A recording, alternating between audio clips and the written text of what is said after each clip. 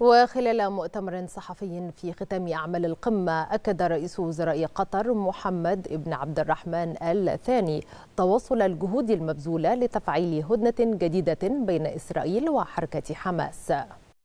بالنسبة لموضوع المفاوضات دولة قطر ما زالت مستمرة في بذل الجهد لعودة العمل بالهدنة وإطلاق سراح الرهان والأسرى وتبادل السجناء الذي حدث على مدار الأسبوع الماضي للأسف يعني واجهتنا بعض التحديات التي أدت إلى توقف هذه الهدنة وعدم القدرة على تمديدها.